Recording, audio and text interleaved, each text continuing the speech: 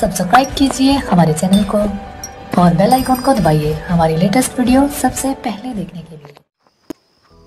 लिए